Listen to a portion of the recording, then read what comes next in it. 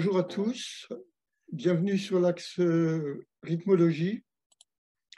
Euh, nous recevons euh, aujourd'hui un représentant de la rythmologie plutôt que les rythmologies sur lesquelles nous testons les différentes manières de fluer, les différentes acceptions de, la, de rythme entre la cadence et les flux.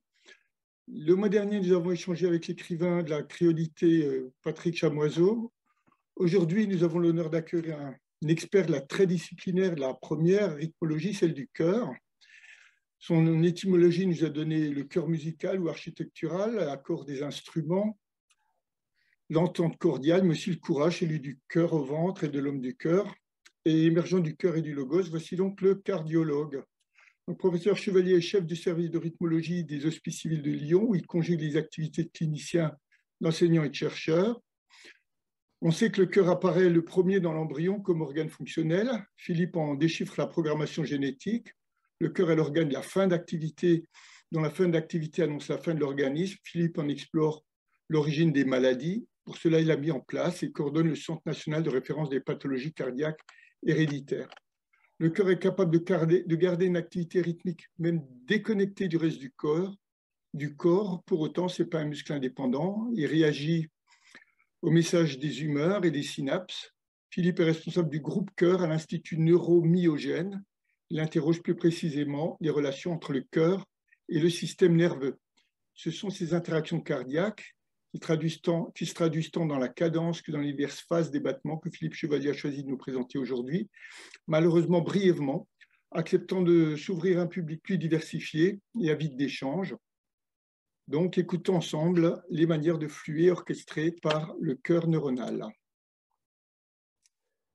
Merci beaucoup. Bonjour à toutes et à tous. Donc, je suis très heureux et très honoré d'être euh, parmi vous aujourd'hui pour justement parler d'un sujet qui me tient à cœur, en effet, euh, c'est-à-dire l'activité électrique cardiaque gouvernée euh, par le système nerveux autonome, par justement, on va le voir, par le, par le système nerveux autonome, donc toute cette balance entre l'activité sympathique et vagale que nous allons découvrir ensemble. Donc, je, je simplement, la structure principale, c'est un petit rappel de la fonction de la détection d'activité électrique cardiaque.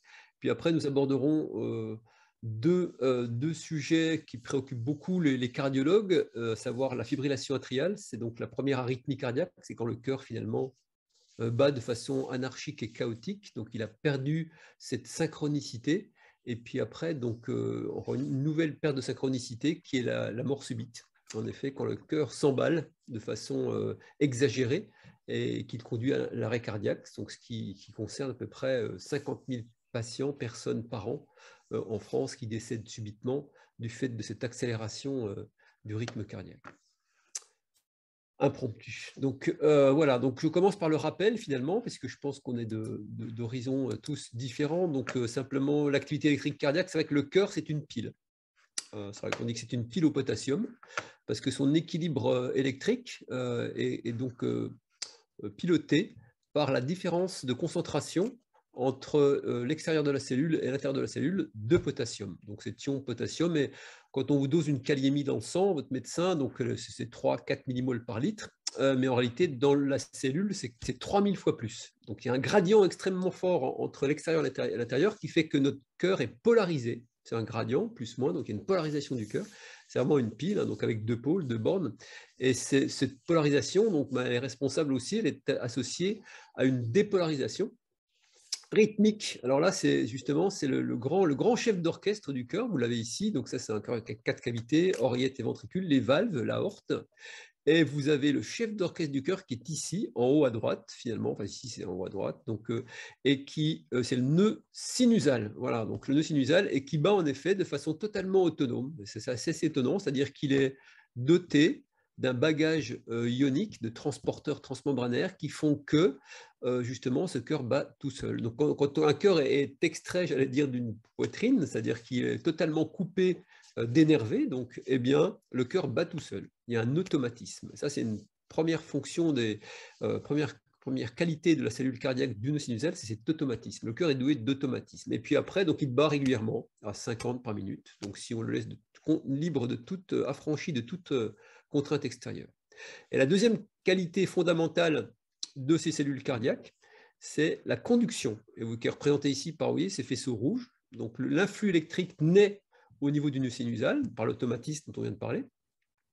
Ensuite, il est propagé à travers les cellules ou un système euh, finalement qu'on dit cardionecteur, peu importe, c'est un tissu de conduction spécialisé, à une vitesse donc à peu près d'un mètre par seconde. voyez, il est freiné ici au niveau de ce qu'on appelle la, douane, le nœud de Tavara, peu importe, c'est les découvreurs de ces structures histologiques que je cite, hein, donc euh, nœud de Tavara.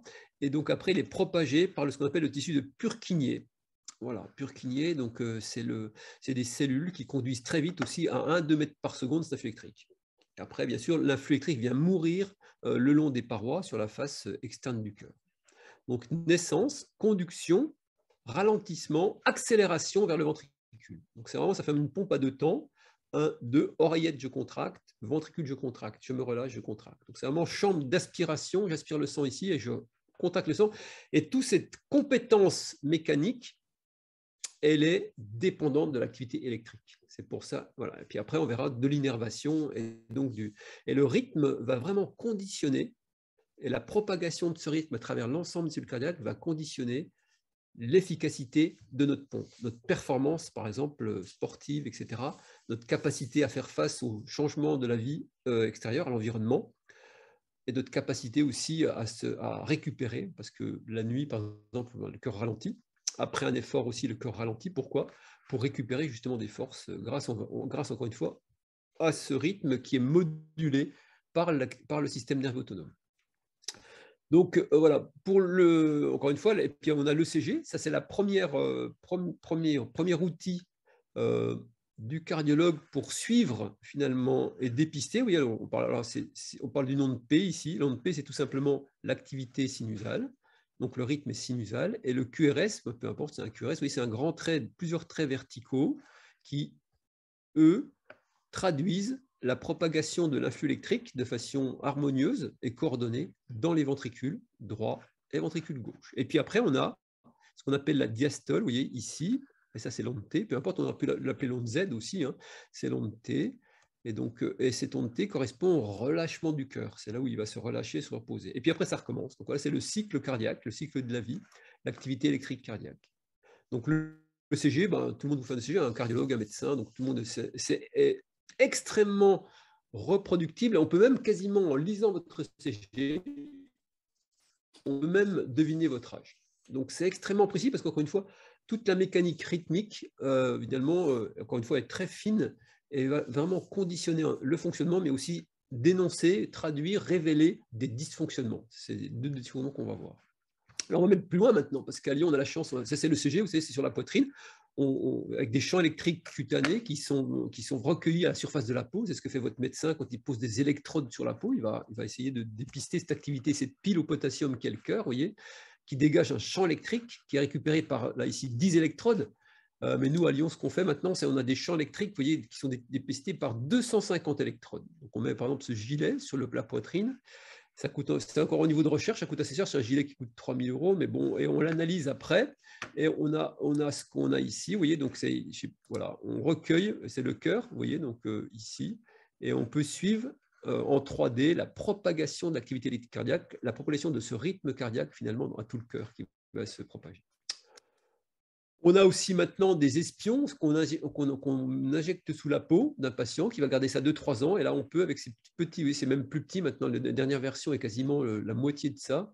Et c'est vraiment en 5 minutes, on injecte ça sous la peau et le rythme cardiaque est suivi, traqué régulièrement. Bah, maintenant, vous savez qu'il y a les montres connectées, il va y avoir maintenant aussi des lunettes connectées. tous ces éléments vont, suivre le rythme cardiaque de façon à mieux connaître euh, comment l'organisme d'un individu réagit aux contraintes environnementales selon le temps. Après, on aura, bien sûr, ça peut déboucher sur de la chronobiologie, de la chronothérapie, c'est-à-dire que en fonction de ce rythme qui est propre à chacun, on a tous nos biorhythmes, eh bien, on pourra soit administrer des médicaments, soit au contraire euh, dépister des maladies. Donc, on a aussi, bien sûr, de l'imagerie. Donc, je ne vous ai pas fait de l'imagerie extrêmement sophistiquée, maintenant en 3D aussi. Ah, ça ne marche pas. Euh, oui, ici, c'est une angioscintigraphie avec le ventricule droit, ventricule gauche, donc je suis désolé, la vidéo ne marche pas. Mais euh, on a aussi ce qu'on appelle le PET scan. Donc on a non seulement la structure euh, donc qui sous-tend ce rythme, mais on a aussi la fonction. Et on, va même mieux maintenant, on va vers le métabolisme, c'est-à-dire que, et puis encore plus en avant, on a l'innervation. Je vous montrerai peut-être des images aussi sur l'innervation cardiaque qui, encore une fois, va moduler ce rythme. C'est essentiel parce que c'est vraiment l'intermédiaire entre l'environnement et notre cœur. Et le rythme, c'est ce, ce, bras armé, finalement, euh, j'allais dire, de nos capteurs sensoriels, finalement, notamment du, qui est intégré au niveau cérébral, qui va conditionner euh, toute, euh, toute l'évolution du, rythme cardiaque. Donc, voilà, donc on a aussi, encore une fois, vous voyez, par exemple, ici, vous avez un rythme régulier. Ici, PQRS, PQRS, puis hop, un emballement du cœur. Il y a le rythme finalement soudain s'accélère voilà, de façon donc inappropriée, donc parce que le patient était au repos. C'est détecté grâce au nommement et cette technique Holter. Donc ça, ça, a un peu révolutionné toutes ces techniques d'investigation à domicile connectées sont très utiles. On peut imaginer par exemple un patient a des palpitations, le cœur s'emballe, trouble du rythme à domicile. Donc, eh bien maintenant, euh, en activant un, boîtier, nous, son médecin euh, peut euh, avoir accès à l'enregistrement du rythme cardiaque. Donc, ça peut être des palpitations qui ne correspondent à rien. Ça existe. La plupart du temps, quand on ressent des palpitations, c'est juste un cœur qui est, perçu de façon plus vigoureuse, mais pas, ça ne correspond pas toujours à un événement anormal. Et puis, bien sûr, comme euh, cette idée dans l'introduction, on fait beaucoup de recherches. Donc, ce rythme cardiaque, on l'étudie aussi euh, dans des modèles animaux. Vous voyez, par exemple, euh, ici, il y a même le, cœur de la drosophile. Vous voyez, bah, c'est un tube, mais c'est un cœur quand même avec des valves vous voyez, qui bat. Donc là, c'est vrai qu'on injecte des, des, variantes génétiques trouvées chez les patients, puis on, étudie la contractilité et le rythme du cœur chez la drosophile. Bien sûr, le plus ancien, c'est le patch clamp, c'est-à-dire c'est des cellules qu'on isole. Et puis, excusez-moi, c'est des cellules qu'on isole et donc euh, qui sont patchées. Et on étudie aussi les mouvements ioniques transmembranaires entre l'extérieur et l'intérieur de la cellule. Et puis là aussi, euh, c'est très intéressant. Voilà, ici, c'est encore plus, plus, spectaculaire. Et c'est ce qu'on fait beaucoup maintenant. C'est-à-dire, c'est des cellules isolées à partir du sang de patient et finalement qu'on reconstruit, c'est des cellules souches, des cellules pluripotentes, donc qu'on transforme en cardiomyocytes. Ah, c'est dommage parce que le, regardez, voilà. Et c'est quasiment si on avait le cœur euh, in vitro, c'est-à-dire vraiment dans un tube à essai. Et ça, c'est un patient, vous voyez, un patient avec une mutation génétique qui donne une maladie. Et là, vous voyez le rythme euh, dans, ce tube à essai, on a vraiment, on reproduit le cœur du patient en monocouche, pardon, dans le tube à essai, enfin dans une boîte de pétri. Et donc, vous imaginez, qu'on peut euh, étudier toutes ces, configurations, ces caractéristiques électromécaniques, et donc étudier des traitements, etc., instituer des traitements, c'est ce qu'on a fait chez ce patient. Là, on a mis cinq ans pour obtenir, bien sûr, ces cellules in vitro, mais maintenant, ce qu'on fait, c'est qu'on a des, je vais pas montrer les images, mais on a des organoïdes, c'est-à-dire qu'on fait ça en 3D, toujours avec les cellules du patient, et on est encore beaucoup plus précis dans la description du phénotype, c'est-à-dire des caractéristiques cliniques de ce patient in vitro. Et enfin, le, quatrième et dernier exemple, donc on fait aussi en pratique, hein, ça c'est le cœur de, vous voyez, de, zebrafish. Voilà, donc c'est un poisson zèbre, voilà, donc qui est aussi utilisé, oui, parce qu'il est transparent. Donc vous voyez, on voit très bien le cœur. Et donc là aussi, euh, la circulation du sang. Et donc c'est à peu près. Euh, et là aussi, on utilise des, variants euh, génétiques pour repliquer la maladie finalement chez l'animal de laboratoire. Et c'est assez spectaculaire aussi, avec des perspectives de traitement et d'analyse phénotypique et de compréhension surtout de, la maladie, de compréhension des mécanismes qui sous-tendent finalement ces troubles du rythme. Là, vous voyez que le rythme est bien régulier. C'est vraiment très important euh, comme, comme, aspect. Donc, on utilise bien sûr pour ces cellules, ces cardiomyocytes aussi maintenant euh, le CRISPR-Cas9. Vous savez, vous connaissez, donc c'est du génome editing, c'est-à-dire que on va modifier euh, le, génome finalement du modèle pour justement euh, reproduire ou annuler les effets de la variation génétique trouvée chez le patient avec maladie cardiaque. Donc ça, c'est un peu les outils d'investigation, euh, qu'on a actuellement à notre disposition pour étudier le, rythme cardiaque. Et c'est vraiment donc euh, assez, assez unique et assez donc performant au niveau parce que là, on a grâce à ça, on a déjà mis, on a trouvé des nouvelles voies thérapeutiques, on a expérimenté des nouveaux médicaments et donc voilà, euh, on a mis en place des essais cliniques randomisés qui vont nous permettre de tester justement ces nouveaux médicaments. Alors maintenant, voilà, qu'on connaît un peu l'aspect normal du, rythme cardiaque, sa, caractéristique essentielle, sa contribution essentielle à la performance mécanique, euh, on peut aller dans la pathologie. c'est-à-dire tous les événements qui conduisent finalement à des maladies, à des symptômes, des symptômes qui sont des palpitations, on l'a vu, des essoufflements, des pertes de connaissance brutales à l'emporte-pièce ou malheureusement quelquefois le décès subit. Et là, vous avez un exemple, par exemple, de trois tachycardies qu'on décrit bien en clinique humaine. Là, vous voyez, les, les, complexes, c'est très verticaux, on le sait maintenant, hein, vous l'avez bien vu tout à l'heure. P, QRST, c'est très régulier, très harmonisé. Là, vous voyez, il n'y a qu'un battement, tac, tac, tac, tac, tac, ça va très vite, très régulier, c'est très large. Ça correspond à une arythmie, arythmie, dysfonctionnement du rythme cardiaque ventriculaire, qui naît au niveau du ventricule. Au lieu de naître au niveau de l'oreillette, donc le nœud sinusal, comme on l'a vu tout à l'heure, et de descendre vers le, le ventricule, et eh bien là, c'est un rythme totalement rapide euh, ventriculaire. Et puis malheureusement, ça dégénère cette tachycardie ventriculaire en tachycardie polymorphe. C'est la fibrillation, le cœur fibrille, c'est comme un mouvement de une fibrillation euh, fluttering de, de, papillon, une aile de papillon. Bien, ce qu'on voit dans les ailes d'avion aussi quand soumis à des turbulences. Et forcément, quand ça fibrille, eh ben, c'est la zone de, rupture, c'est-à-dire que c'est là où le, débit cardiaque s'effondre, le patient syncope, tombe dans perte de conscience, pardon, et puis il s'ensuit quelquefois donc une mortalité, une mort, subite. Et là, la seule façon, bah, c'est le choc électrique externe, mais la seule façon de rétablir le rythme normal, bah, c'est le défibrillateur automatique. Le défibrillateur, c'est-à-dire maintenant, c'est pour ça qu'il y a eu beaucoup de, de grande, une grande campagne publique on s'est battu pendant des années pour qu'il y ait des, à la disposition dans les, dans les pharmacies, dans les aéroports, dans les avions même, pour les voyages transatlantiques, dans le TGV, Paris-Lyon par exemple, vous avez euh, un défibrillateur qui est à disposition finalement. maintenant, on est passé de défibrillateur semi-automatique, c'est-à-dire où il fallait que la personne qui utilise le défibrillateur avec les deux palettes sur la poitrine euh, appuie sur un bouton pour confirmer ou pas la, la. Maintenant, c'est automatique complètement, c'est-à-dire que l'appareil lui-même fait le diagnostic et confirme le diagnostic et envoie le charge électrique de, 200 joules. Voilà, donc euh, de 30 joules, pardon. Et euh, voilà, donc c'est assez et ça refibrille le cœur, ça remet finalement les, les, cellules électriques au même niveau, et donc le, cœur peut rebattre au rythme normal. Et ça, c'est le seul moyen. Le coup de poing dans la poitrine, ça ne sert pas à grand-chose, donc c'est vraiment d'emblée le, choc électrique externe, après la mise en position, bien sûr, euh, sur le dos, dans un, et puis un massage cardiaque. Donc c'est important, si vous savez faire le massage cardiaque avant, c'est important parce que ça permet de, donner une petite systole. C'est l'équivalent d'une systole, parce que là aussi c'est une propriété dont on n'a pas parlé. Mais dans le cœur, il y a des mécanotransducteurs. C'est-à-dire, si vous avez un cœur isolé, vous mettez, vous stimulez par exemple avec le doigt comme ça, hop, il va battre. Parce qu'il y a des, des, transducteurs mécaniques, comme un peu piezoélectrique, c'est pas, pas ça, mais c'est autre chose. Mais disons qu'il y a des, ce qu'on appelle des récepteurs à l'étirement. Donc, quand le cœur s'étire ou quand il est stimulé mécaniquement, eh bien, il va réagir en se contractant. Une transduction électrique, une transformation de l'impulsion mécanique stimulus électrique. Et le cœur se dépolarise. Donc, le, fait de masser, euh, c'est important, donc euh, de faire un massage cardiaque externe. Avant le choc électrique. Donc après, il y, a tout, un dictionnaire, bien sûr, un répertoire, un atlas. Donc ce n'est pas le sujet du jour, mais vous voyez des tachycardies polymorphes, monomorphes, torsadiformes, etc. Euh, donc tout un, un, vocabulaire très riche auquel a participé beaucoup l'école de cardiologie française, mais dans les années 60, parce que c'est une époque où la cardiologie était très contemplative. Donc y a un vocabulaire très riche dans la description des symptômes et dans la description des événements électrocardiographiques, comme là, juste pour exemple, ça, s'appelle des torsades de pointe, et que vous alliez, euh, que vous alliez donc aux États-Unis, en, Russie, en Chine ou n'importe où, on appellera ça toujours des torsades de pointe.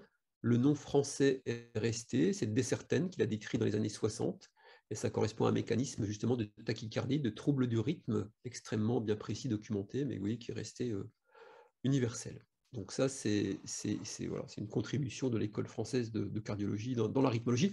Maintenant, c'est autre chose parce qu'on est plus guidé, comme vous allez le voir, par des techniques invasives et on s'attache moins à la description des choses et on va directement au traitement des, choses, pour le bien des patients, bien sûr.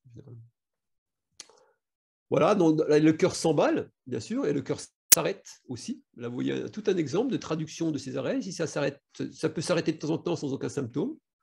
3-4 secondes, c'est ce qu'on appelle des, lipotymies, un vertige, ce n'est pas le vrai mot, c'est un vertige, c'est plutôt rotatoire, donc c'est plutôt l'oreille interne, c'est l'ORL. Les lipotymies, vous voyez, 5 à 8 secondes, il y a des gens qui peuvent euh, rester 10 secondes d'arrêt sinusal, parce que vous voyez, du nœud sinusal qui devient paresseux, qui s'arrête, donc dans des constances variables. 12 secondes, c'est la perte de connaissance, et puis plus de 15 secondes, bah, généralement au bout de 20 secondes, là, c'est ça mime un arrêt cardiaque. Donc, c'est-à-dire que le patient, donc, il y a une révulsion oculaire, une perte de conscience, bien sûr, et des convulsions généralisées. Donc, ça, ça, ça semble que ça peut être grave, mais généralement, dans les conditions d'arrêt cardiaque par hypertonie vagale, c'est réversible c'est pas grave du tout. Enfin, sauf bien sûr, ce qui compte, c'est les circonstances. Si vous êtes en train, si vous êtes euh, en train de vous laver les dents au-dessus de votre lavabo euh, et donc euh, que vous perdez connaissance, bah, si vous pouvez chuter sur votre tête, évidemment, ça peut être très grave aussi. Mais en soi, le, cœur, dans ces cas-là, en cas de bradycardie, revient toujours à la normale. Le rythme est, récupéré. C'est une pause, une syncope, hein, comme en musique. il y y a un rythme bien régulier, puis tout d'un coup, paf, ça s'arrête et ça repart de façon complètement arbitraire et aléatoire. Après, pour les décrire, il y a plein de mécanismes aussi dont on pourrait parler. C'est des statistiques probabilistes, stochastiques, donc voilà, donc euh, avec des mécanismes euh, qui, apparaissent aléatoires, mais je pense qu'ils ont quand même un déterminisme particulier. Alors, ça peut être les deux aussi. On a vu l'accélération, le ralentissement. Eh ben là, vous voyez, c'est cette patiente eh ben, ou ce patient, c'était une accélération, mais irrégulière, vous voyez, le rythme est irrégulier, tac, tac, tac, chaque battement vertical, c'est un cœur, c'est un battement cardiaque, on l'a vu, et puis un arrêt, hop, je repars, j'arrête, je repars, hop, je m'accélère, j'arrête, je repars, etc., etc. Ça, ça correspond en effet à une maladie très précise, maladie de Loriette, peu importe, mais enfin, il y a des gens qui combinent à la fois ces deux anomalies du rythme, l'emballement et la cessation d'activité, l'arrêt de l'activité. Voilà. Donc généralement, ça traduit en effet, euh, si on, verra si on peut aller plus loin dans la,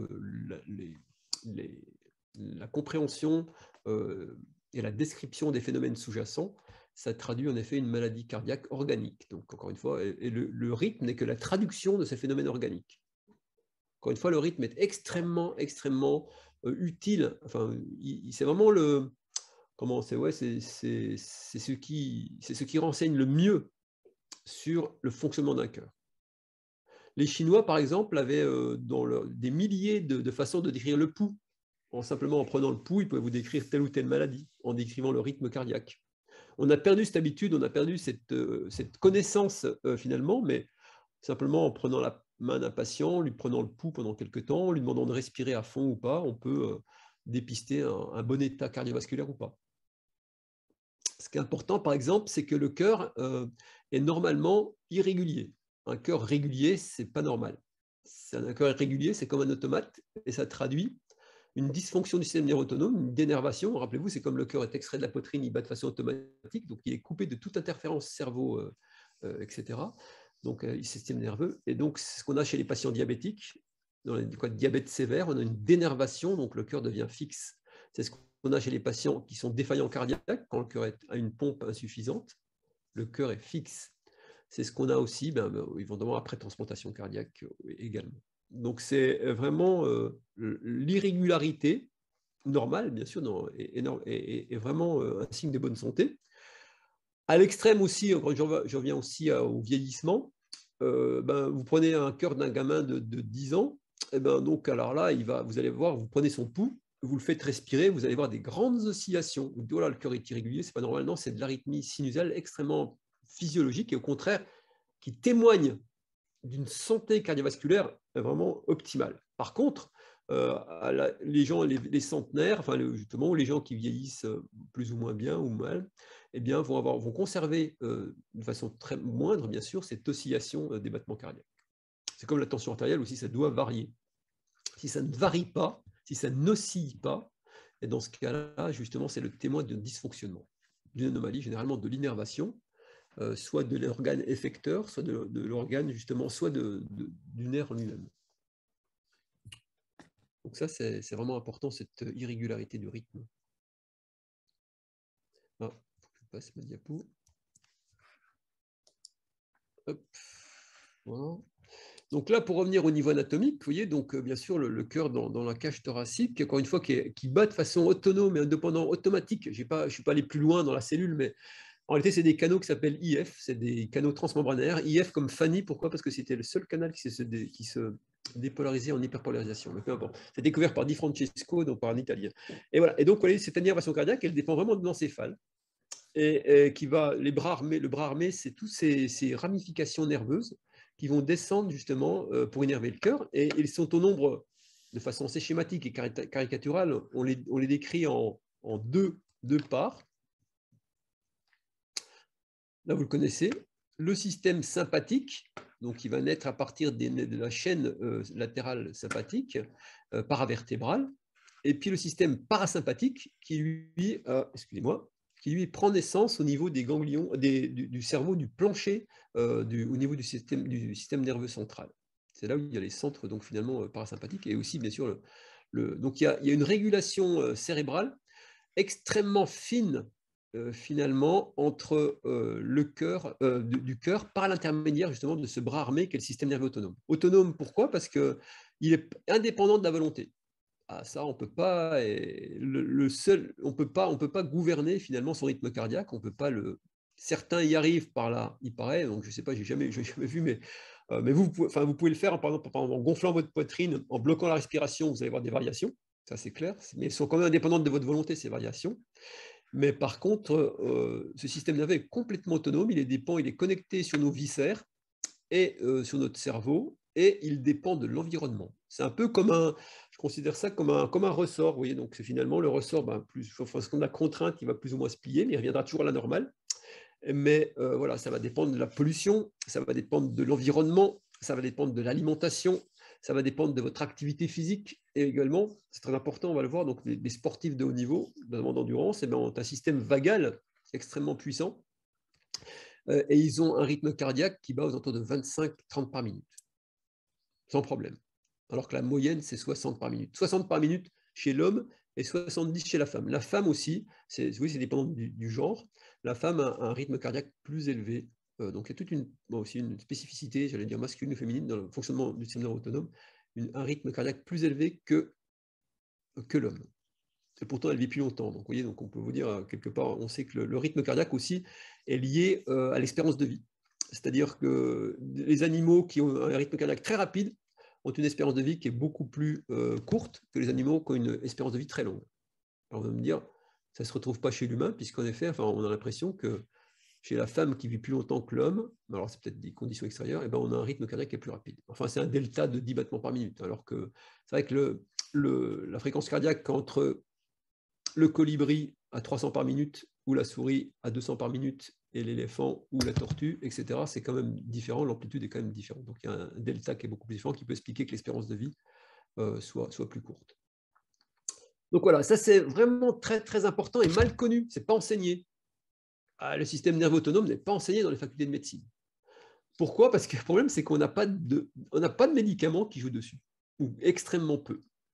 Et c'est le problème, on n'arrive pas pour l'instant à trouver un médicament qui soit sympathomimétique, parasympathomimétique, c'est-à-dire qui reproduise ce système parasympathique. Parce que le système parasympathique, c'est, c'est, le, le, nerf de la, je vais dire, du repos, de la sérénité. C'est là où vraiment tout le, potentiel d'action est représenté ici, euh, la, la de robot va être tirée vers le bas, donc le cœur va battre plus lentement, la diastole va être plus longue. Donc tout ce système parasympathique, on a tous intérêt, euh, si on choisit bien nos parents, parce que c'est héréditaire, donc à avoir un bon système parasympathique, parce que ça va ordonner, réguler, apaiser euh, tout l'organisme entier. Ça va du tube digestif, en améliorant la digestion, justement, mais au système cardiaque, bien sûr. Donc c'est vraiment important. Et encore une fois, le cœur, c'est l'objet, le, le, cœur neuronal de cette présentation, c'est là où je voulais en venir, c'est que le cœur, c'est presque un second cerveau. Enfin, je sais bien qu'on parle de second cerveau d'intestin, mais je ne suis pas sûr que ce soit... En tout cas, le cœur est un, second cerveau parce qu'il est doté en lui de tous les éléments neurologiques, des ganglions, des circuits de feedback, etc., neuronaux, euh, qui font qu'il peut fonctionner comme un, cerveau si, si euh, il est connecté, bien sûr, euh, avec des nerfs au reste de l'organisme et bien sûr à l'encéphale. Et ça, c'est vraiment important. Et c'est bien sûr gouverné encore par la génétique. Là aussi, on, sait maintenant qu'à chaque canal ionique correspond une séquence d'ADN. Et on est encore une fois, on est, on est, juste au début, mais là aussi, on peut, on peut établir la carte d'identité génétique qui conditionnera le fonctionnement du système nerveux autonome et donc tout ce qu'on a vu, tout l'organisme. C'est vraiment la, plateforme centrale, le centre d'intégration de tout le fonctionnement de l'organisme, ce, système nerveux autonome, qui est encore une fois totalement euh, euh, non enseigné et très mal connu. Donc, avec, bien sûr, je ne vais pas parler, mais des neurotransmetteurs. Hein. Donc ici, bah, c'est celui dont tout le monde parle, hein. c'est l'adrénaline, l'adrénaline, le stress sympathique, ça, on nous rebat les oreilles avec ça. Mais le plus important, c'est vraiment celui-là. Parce que celui-là va contrecarrer euh, les effets de cette hypertonie sympathique qui peut être très délétère euh, si elle est prolongée et soutenue, comme c'est le cas dans l'insuffisance cardiaque d'ailleurs, où les gens, le premier traitement d'insuffisance cardiaque, c'est d'inhiber ce système sympathique, mais comme on ne peut pas élever le système parasympathique, eh bien, on va donner des bêta-bloquants. Bêta-bloquants, c'est un médicament fantastique. ça a été, date des années 70, à 50 ans maintenant. Hein. Ça a été mis le premier, c'est l'avlocardil ou propranolol. Donc, euh, c'est une médication par les laboratoires ICI Pharma. Et donc, cette médication est extrêmement. Ne, pas donner euh, un bêta-bloquant à un cardiaque, c'est lui faire perdre une chance. parce que c'est un médicament, que vous l'avez compris. Et c'est l'équivalent, c'est comme si on donnait, c'est comme si on stimulait le parasympathique, mais là, on va antagoniser le sympathique. Donc, on va réduire le rythme cardiaque pour empêcher justement d'aggraver cette déprivation énergétique qui caractérise le cœur de patients en insuffisance cardiaque. Excusez-moi. Et voilà, donc là aussi, cette diapo, euh, retenez que chaque fibre cardiaque, c'est en rose ici, c'est des fibres, est accompagnée d'un neurofilament, d'une fibre nerveuse. Et vous voyez qu'il y a un dialogue biochimique finalement extrêmement précis, totalement inconnu, qui se passe entre les deux. Et euh, là, il y a une fibre nerveuse aussi. Donc cette infiltration du tissu cardiaque par des neurofilaments est extrêmement précieuse pour le fonctionnement de notre cœur. Et là, c'est aussi, bah, l'image aussi, je ne voulais pas dire, mais c'est une image qu'on a eue chez un patient, bien sûr, d'une biopsie myocardique à Lyon.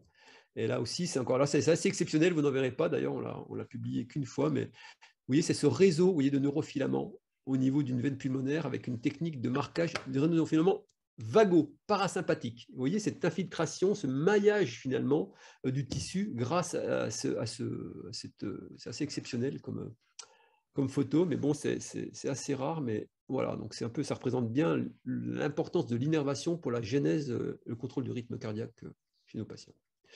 Et ce rythme cardiaque, encore une fois, ben, les sportifs d'endurance, vélo, natation, etc., course à pied, développent ce système sympathique. C'est vraiment important. Et actuellement, le traitement d'insuffisance cardiaque euh, euh, fait, euh, inclut justement la prescription du sport sur ordonnance. Et pareil, ça va activer votre système parasympathique, ça va diminuer votre fréquence cardiaque. Donc c'est vraiment important de jouer, entre guillemets, avec la modulation. Donc actuellement, pareil, il y a 20 ans, le bêta-bloquant est toujours d'actualité, mais en plus du bêta-bloquant, maintenant, eh bien, ça va être l'activité sportive. L'activité sportive est bénéfique. Pourquoi? Parce que justement, elle va renforcer ce système parasympathique, elle va ralentir votre rythme cardiaque, et elle va justement favoriser euh, justement euh, ce, système nerveux autonome euh, qui, va, qui va apaiser l'ensemble de votre organisme au niveau mental, digestif, cérébral, etc., cardiaque, etc. Mais à l'inverse, bah parce que comme dans tout dans la vie, il y a, des jamais parfait, bien sûr. Donc, bah, parfait. Il y a toujours un équilibre, j'allais dire un compromis, un prix à payer. C'est que quand cette, ce système vagal chez certains d'entre nous est trop puissant, cette pédale de frein est trop excessive. Donc, vous voyez, par exemple, vous avez des battements ici parmi sur l'axe des Y. Là, sur l'axe des ordonnées, c'est le temps, 18h, 22h. Le patient va se coucher. Donc là, il y a le nadir, il y a, il y a 2 heures du matin. Le, rythme cardiaque diminue parce que son système vagal augmente. Et puis au nadir de la décélération, vous voyez, donc vers 50 par minute, qu'est-ce qui se passe? Paf Il y a un trouble de rythme qui naît à 100, 200 par minute. Tout simplement, oui, parce que le système vagal, dans ce cas-là, eh ben, au niveau de l'oreillette, s'il est protecteur au niveau du ventricule, il peut être délétère au niveau de l'oreillette et entraîner une instabilité rythmique, comme on le voit chez ce patient. Donc là aussi, c'est une hypertonie vagale, donc euh, une exagération du frein vagal et là aussi, ça, répond à des mécanismes précis. Ce patient, c'est à l'effort, c'est un rameur, je crois. Donc, il accélère son rythme. Vous voyez, regardez sur la partie de droite, le rythme s'accélère à peu près à 150. Et puis, en phase de récupération, hop, qu'est-ce qui se passe? Une irrégularité du rythme. Voilà, donc euh, le rythme est très irrégulier, comme vous voyez à l'œil nu. Hein. Et donc, ça, c'est aussi dû à la récupération en phase vagale. Et c'est bien connu, c'est par exemple après aussi la gestion d'alcool, votre cœur s'accélère et peut, peut fibriller. C'est après, justement le, sportif qui va faire 300 km en vélo, il revient chez lui, il prend sa douche, il s'allonge euh, euh, sur son, son, canapé, et là, paf, le cœur s'emballe très rapidement à 200 par minute, complètement chaotique, anomalie du rythme cardiaque, fibrillatoire. Pourquoi? Parce qu'il y a le frein vagal qui a un peu dépassé sa fonction et qui a déstabilisé le rythme cardiaque. Donc ça peut être aussi, mais voilà, Et puis, euh, toujours pareil, cette innervation, euh, on peut la quantifier hein, maintenant au niveau vagal. C'est aussi, ça s'appelle, peu importe, c'est une scintigraphie. imaginez, c'est une radio de face. Là, c'est le foie qui capte euh, le, marqueur. Et là, c'est le cœur. Oui, ici, c'est le cœur, vous voyez, donc dans la poitrine. Et là, c'est le médiastin, bien sûr. Et là, les poumons. Donc, vous voyez, c'est comme une radiographie thoracique de face.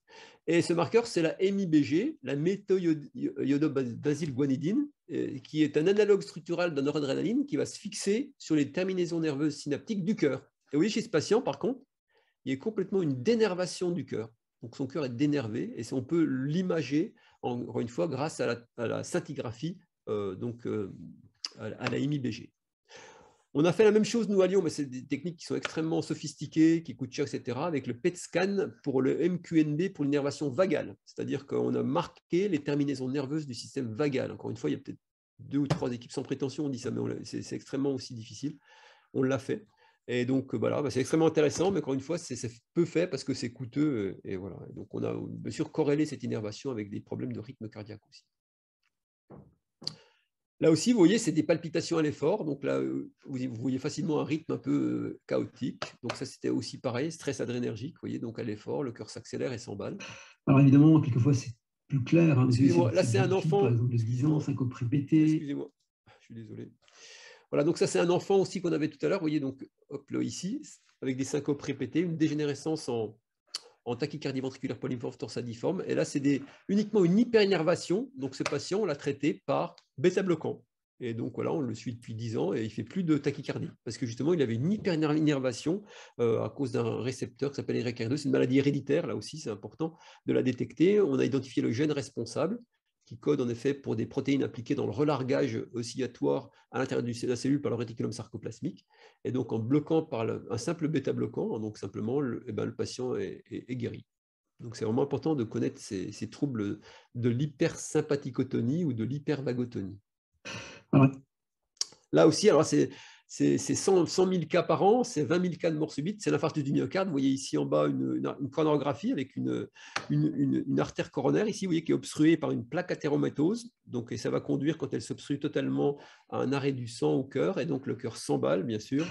Et, excusez-moi, et voilà, là aussi, mort subite par trouble du rythme fibrillatoire. Donc voilà, ça aussi, on donne des bêta-bloquants. Les bêta-bloquants sont extrêmement efficaces pour prévenir, vous l'avez compris, la mort subite du fait de cette hyperinnervation.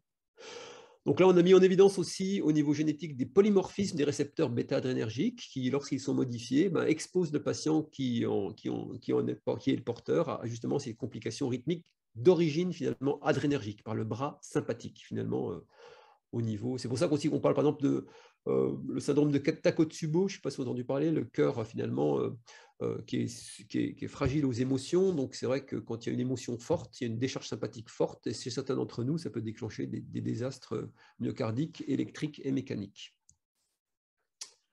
Euh, l'autre pathologie, finalement, donc je voulais parler, parce que la fibrillation atriale, c'est fréquent, c'est aussi à peu près 100 000 patients par an, nouveaux cas par an, vous voyez, donc là, vous avez les oreillettes, et là, c'est un désordre, vous voyez, la propagation d'un flux électrique est plus ordonnée, harmonieuse, il y a chaque cellule bat pour son compte, donc le rythme est à 500-600 par minute au lieu d'être à 60 par minute. Et vous voyez, ça fait une propagation de l'influx électrique complètement chaotique qui débouche sur une incompétence circulatoire. Et là, vous voyez, nous on a imagé ça, imagine, ça, vous voyez, au niveau des flux, vous voyez, c'est assez joli parce que ça aussi, c'est une IRM 4D, hein, c'est rarement fait, mais on l'a fait à Lyon aussi. C'est l'oreiller de gauche. vous voyez ces flux, ces flux de sanguin qui sont anarchiques du fait de cette anomalie fibrillatoire. Donc ça, c'est important dans la caractérisation. Alors malheureusement, cette fibrillation atriale, rapidement, elle débouche sur, oui, c'est l'oreillette ici, là c'est le cœur qui bat euh, en fibrillation avec les valves ici, et là il y a un caillot de sang, parce que l'oreillette ne bat plus, elle fibrille, donc il y a un caillot qui peut se déboucher, puis donner, et malheureusement, euh, une, qui peut donner malheureusement, oh là, je prends du temps, je suis désolé. Donc voilà, je finirai par euh, un des exemples pathologiques de troubles du rythme anormal, finalement, par dysfonction du système nerveux autonome ou dysfonction du cœur. C'est la mort subite, bien sûr. Euh, encore une fois, dont on vient de parler.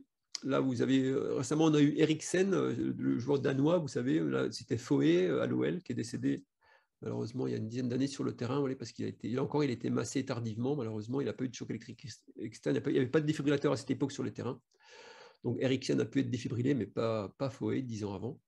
Et ça correspond à quoi? C'est pareil, regardez, imaginez un rythme régulier, tac, tac, une accélération et une fibrillation. Ben, regardez, vous avez la traduction en 2D. Le rythme se propage de façon uniforme et régulière. En cas de tachycardie, il y a une activation qui se fait en boucle, comme ça, une réentrée, peu importe, on parle c'est un vortex, ou peu importe les noms, enfin, c'est une, une, une, une, propagation de l'influx, vous voyez, il y a toujours un rythme, mais une propagation normale. Et puis, malheureusement, ça débouche vers un rythme chaotique qui peut être arrêté uniquement par une choc électrique externe, la fibrillation ventriculaire. ça, c'est la fibrillation ventriculaire. On connaît très mal, euh, mais on commence à, bien sûr, ce qui sous-tend la fibrillation, c'est bien sûr, c'est des, souvent, ah, la vidéo ne marche pas, je suis désolé c'est souvent des activations un peu chaotiques du cœur. Là, vous avez deux exemples euh, un peu normalement, mais je n'ai pas de vidéo. Et comment on traite ça? Ben, On traite maintenant par le défibrillateur. Voyez donc, c'est-à-dire que c'est pareil, pour remettre les pendules à l'heure, on avait le choc électrique. Là, et donc, là, je vais vous montrer simplement ce qu'on fait actuellement couramment tous les jours pour euh, justement rétablir le rythme chez ces patients euh, et pour protéger contre la fibrillation ventriculaire. Donc, vous voyez, c'est un cœur simplement. On va glisser des sondes euh, dans le cœur pour identifier les veines. On va injecter un produit de contraste, vous voyez, parce que chaque patient a un réseau veineux différent. Et donc, ce réseau veineux, voilà, donc qui va être comme ça. Après, on, met trois sondes. On va mettre une sonde dans le ventricule, euh, dans, le, ventricule droit. Voilà. Après, une sonde ici dans les veines euh, à gauche, vous voyez, donc c'est une sonde qui est après. il fait deux fois la même chose. Donc voilà, la sonde va être vissée à l'apex ici du ventricule droit. Ensuite, bien sûr, la troisième sonde va être dans l'oreillette droite, ce qui fait qu'on va reconstruire la synchronisation atrioventriculaire. Et là, c'est la troisième sonde, pardon, qui va aller euh, sur un fil philo-guidé, vous voyez, donc, euh, et qui, va être glissé dans une veine du cœur gauche. Cette fois-ci, c'est une, vous voyez, c'est avec des, un ancrage. On ne peut pas visser dans la veine, mais c'est un, un, système d'ancrage pour stabiliser l'ensemble. et donc après, eh ben, un appareil qui s'appelle soit un pacemaker, soit un défibrillateur, va donner le rythme, mais cette fois-ci, le rythme sera complètement sous le contrôle d'un appareil. Donc voilà. Et là, on aura un battement régulier, euh, harmonieux et uniforme entre l'oreillette droite du haut vers le bas. Et ça, c'est voilà, vraiment important, cette synchronisation artificielle.